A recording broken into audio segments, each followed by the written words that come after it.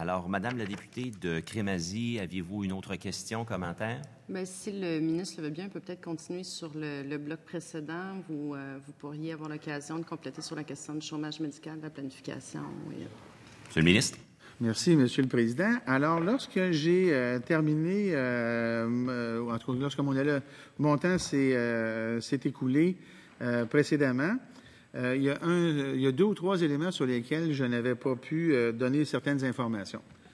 Alors, j'ai fait référence au PEM, évidemment, et au PREM, et à la mécanique de répartition géographique des effectifs médicaux au Québec, ainsi qu'à l'accès à l'entrée en médecine et en spécialité euh, qui est géré par le gouvernement conjointement avec tous les acteurs du réseau, qu'ils soient administrateurs, universitaires ou organisations médicales, pour faire en sorte que, enfin, en bout de ligne, la population ait une planification adéquate de ses effectifs médicaux.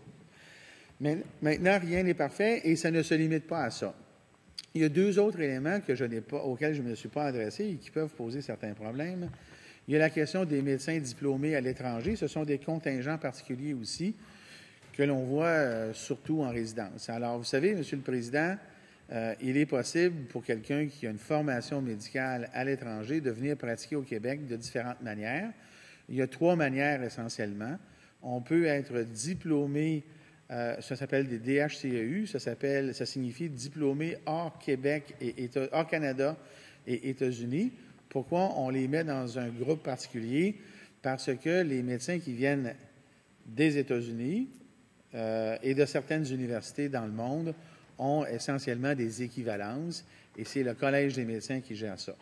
Il y a un autre chemin qui permet à un médecin diplômé euh, à, l'étranger euh, d'entrer au Québec et c'est le chemin de l'entente France-Québec France -Québec qui a été négociée et mise en place par notre gouvernement précédemment. Dans l'entente France-Québec, Monsieur le Président, un médecin pratiquant en France et qui rencontre certaines conditions, et ça marche dans les deux sens, a la possibilité de venir s'installer au Québec et de pratiquer. Maintenant, il y a eu des problématiques qui ont été euh, soulevées par ce genre d'entente-là parce que dans l'entente France-Québec, il y a eu une période de flottement où les gens pouvaient venir s'installer dans des régions métropolitaines alors que historiquement, on demande aux gens qui ont une diplomation extérieure au Québec ou au Canada euh, de respecter plutôt notre plan de distribution et idéalement d'aller plus en périphérie. On entend souvent dans les euh, journaux la problématique, c'est régulièrement soulevé, la problématique des, médecins diplômés dans certains pays.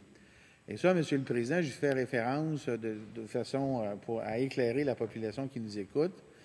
Bien, quand on est diplômé à l'étranger, il y a une mécanique d'évaluation qui doit être mise en place qui n'est pas la même pour un Américain, par exemple, et on fait référence aussi à des pays qui n'ont pas nécessairement le même niveau de vie ou de formation académique qu'au Québec, le collège a une mécanique qui est en place qui permet de, par certaines évaluations, certains examens, certaines choses, de faire l'évaluation de gens diplômés à l'étranger.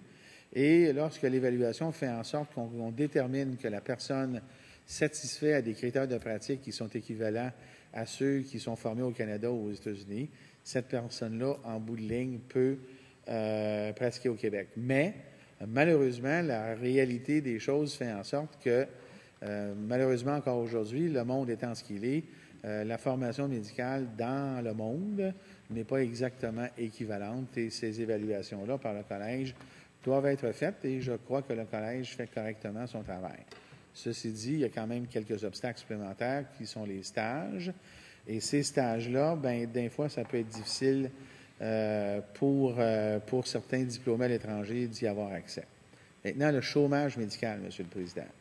Ça, c'est une question qui est très importante. Et je réitère, je l'ai déjà dit dans le passé, je réitère le fait qu'au Québec, Monsieur le Président, grâce à la mécanique que nous avons de gestion à la fois de la formation des étudiants, du nombre d'entrées en formation et de la distribution dans les programmes de spécialité, nous avons la capacité, et on l'a toujours fait, de faire en sorte que on puisse offrir des postes en sachant qu'à la fin, il va y avoir euh, des postes d'entraînement, en sachant qu'à la fin, sur euh, le marché, en pratique, il y aura des endroits où les individus pourront pratiquer. Mais il arrive parfois que pour des circonstances hors du contrôle du gouvernement, et notamment en fonction de l'évolution de la pratique médicale que dans certaines spécialités où la formation est très longue, il y a des spécialités où la, la possibilité d'aller occuper un poste soit plus difficile. Et je donnerai comme exemple, Monsieur le Président, la chirurgie cardiaque. La chirurgie cardiaque qui est très, très, très, très altérée par le développement euh, de technologies cardiologiques euh, percutanées. Percutanées, ça veut dire qu'on n'ouvre plus le thorax, ce qui fait en sorte que cette spécialité voit son profil grandement affecté par l'évolution technologique. Et quand on dit que ça prend 7 ans, 10 ans, euh, pas 7 ans, mais 10 ans, 11 ans, 12 ans dans une spécialité comme celle-là à se former, il est possible qu'en entrant, on ait des perspectives d'avenir en fonction de l'évolution de la science qui soit rose au départ, mais qui malheureusement euh, s'assombrissent pendant la formation. Et le gouvernement, avec les différentes organisations, essaie de s'assurer de réagir correctement à ces situations-là pour adapter euh, ces prévisions qui sont à l'origine de la détermination du nombre de postes qui sont offerts aux résidents. Alors ça, ça brosse essentiellement le tableau euh, euh, qui, nous permet de gérer efficacement et mieux qu'ailleurs au Canada et mieux que dans certains autres pays notre planification d'effectifs médicaux. J'ai utilisé tout à l'heure, dans la première euh, période de, réponse, l'expression de gruyère médicale. C'est une expression qui est française. Parce qu'en France, le Collège des médecins français et le gouvernement français parle de gruyère territoriale, parce que la France n'a pas notre mécanique. Je pourrais même vous dire que la France est venue nous voir pour voir comment on faisait, comme l'Ontario le fait, comme le reste du Canada le fait, parce que nous n'avons pas les problèmes que les autres ont, parce qu'on est proactif. Et je l'ai dit tantôt euh, euh, dans, mes, euh, dans mes commentaires, c'est pas parfait, mais au Québec, il y a des choses qui se font bien et elles se font de façon concertée et collégiale et on doit en être fier. Merci, Monsieur le ministre.